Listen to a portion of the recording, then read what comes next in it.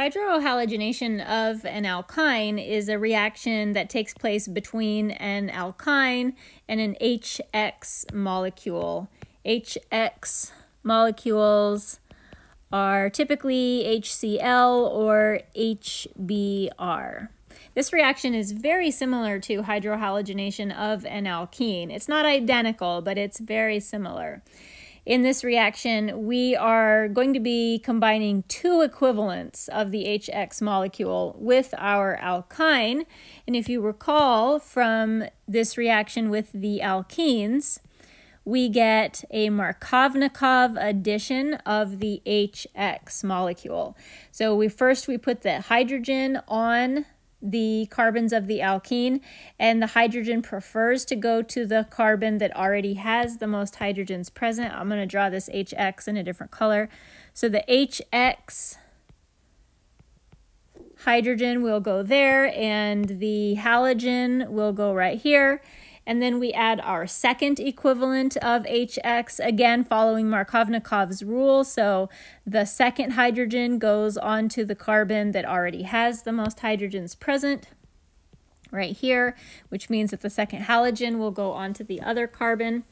This so this reaction follows Markovnikov's rule The only way that this reaction is different from hydrohalogenation of an alkyne, or excuse me, alkene, is that we have no rearrangement in this reaction, which means that this reaction proceeds via a different mechanism than the one that we see with an alkene. There's never a carbocation formed, if that, which is why we don't see any rearrangement. Um, one thing to note about the hydrohalogenation of an alkyne is that it is typically only done with terminal alkynes. It is not impossible to do this with an internal alkyne, but it's not useful to do it with an internal alkyne. Uh, with a terminal alkyne, remember a terminal alkyne is one where the carbon-carbon triple bond is at the end of a chain. So with a terminal alkyne, we have one hydrogen that's already on the alkyne, and that one hydrogen helps guide the location of the first incoming hydrogen and then the second incoming hydrogen as well. So doing this reaction with a terminal alkyne guarantees that we're only going to make one type of product in this reaction. If we do this with an internal alkyne, and again, it is possible, it's not that the internal alkyne cannot react, that if we do this with an internal alkyne, because we don't have any hydrogens initially present on the alkene, we don't have Markovnikov's rule helping to guide the placement of the hydrogen as it comes in. So some of the hydrogens will end up on one of the carbons of the alkyne and some of the hydrogens will end up on the other carbon and this results in a mixture of products which is never ideal. So again, this is typically only done with terminal alkynes. Now, we can do this reaction in the presence of peroxide, just like with an alkene.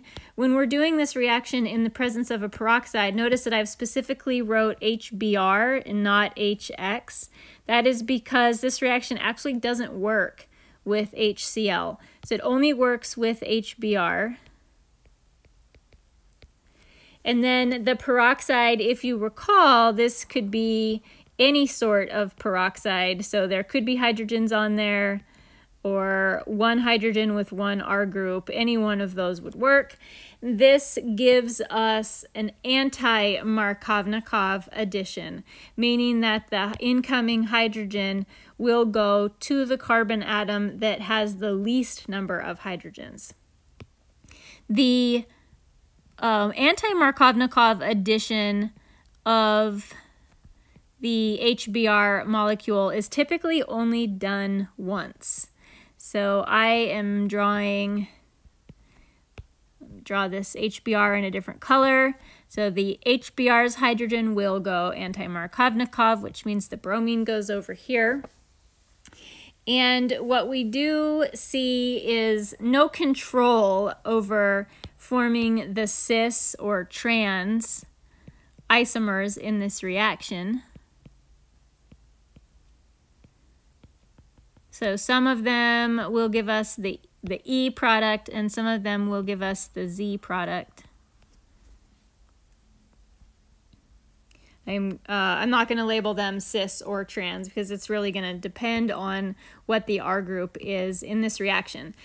Uh, this reaction is only done, like I said, it's only done with one equivalent of HBr. So only done with HBr and only one HBr, not two.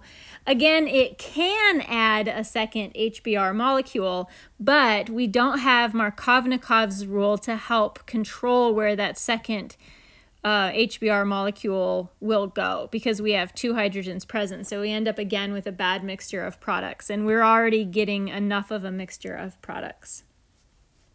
So for this, we have anti-Markovnikov.